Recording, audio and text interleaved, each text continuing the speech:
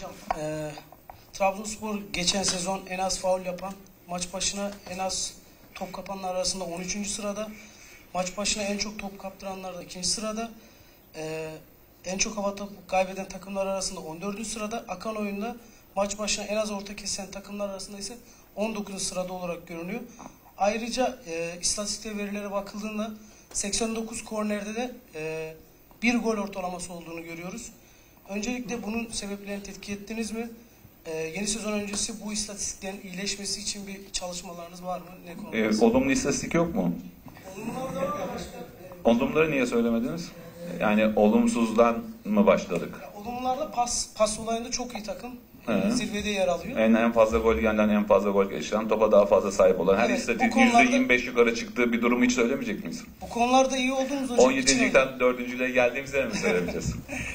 Biraz evvel söylediğin istatistiklerin içinde orta dedin değil mi? En az orta yapan 19. Bugün Orta kesmede iyiyiz ama. Şey, Ha. engellemede. Ortalar engellemede, engellemede. yani pas arasını tutmakta, yani sahada daha doğru duruyoruz anlamına mı geliyor bu? Evet. Değil mi? Evet. E, tamam o zaman bu olumsuz bir şey değil yani. Duran toplarda bir zayıflık. E, zayıflık dem, e, şöyle söyleyeyim sana. Ortadan bahsettin en az uzaktan orta. Bugün Türk dünya futbolunda uzaktan orta, hedefsiz orta diye bir şey kalmadı. Bu sana ne olarak dönüyor biliyor musun? Yüz- yani 60-70 metre geriye sprint atmaktır bunun karşılığı. Hedefe pas, oraya organizasyonla gelmek, zaman zaman oyunun içinde, bazen sürelerinde, dakikalarında, bazen uzaktan orta vardır anlarında. Ama genelinde bütünde bu oyunu oynamak sana geriye koşturur ve geçiş verdirir, kontratak yedirir. Onun için o doğru bir istatistik değil. Duran topla ilgili de çalışmalarımız devam edecek hem savunmada hem ucumda. Geçen sene Trabzonspor saydığın istatistiklerin dışında belki 20 tane üzerine koyduğu çok önemli istatistikler vardır. Bunu da ön plana çıkartalım. Çünkü geldiğimiz her noktada %20-25 istatistik rakam olarak üstüne koymuş bir Trabzonspor vardır. Ve çok geriden gelmesine rağmen neredeyse yarışın içine giriyordu. Bir kupa kazanmıştır. Ve bu sene hedeflerinde o doğrultuda yukarıya doğru çekmiştir. Okey? Nurgül Hanım buyurun. Hocam yeni sezon hayırlı olsun öncelikle. Teşekkür ederim. Nurgül Günaydın Güne Bakış Gazetesi ve Futbol Arena. Hocam e, belirttiniz ama iki transferle daha dediniz ama taraftarın yani yine bir beklentisi var. Tamamen iki transferle kapatacak mı Trabzonspor? Taraftarın bir e, özellikle Sörlot konusunda inanılmaz beklentisi var. Sizin de var onu da biliyoruz. E, sadece sol bek ve forvette bitecek mi transfer?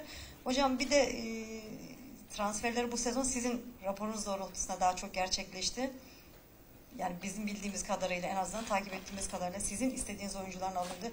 Şimdi çok fazla yer bulmadı. Mesela örneğin bir Hamşik transferi burada gerçekten Trabzon'da çok önemli yankı uyandırdı. Dünya yıldızı bize göre de öyle ama taraftarın da serzenişi var. Yani e, ulusal medyada çok yer bulmadı. Başka bir takım alsaydı belki daha çok yani konuşulurdu. E, O eleştirilere de katılıyoruz.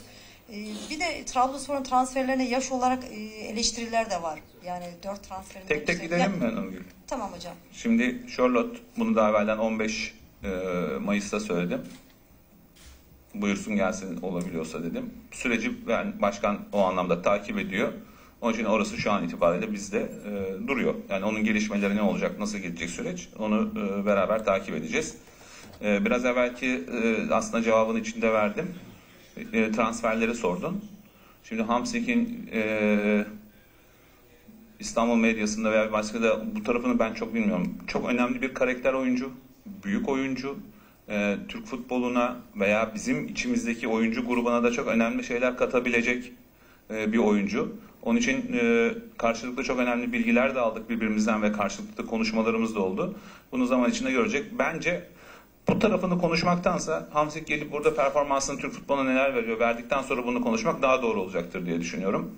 Başka? Yani deneyim, şey yaşlı oyuncular mı?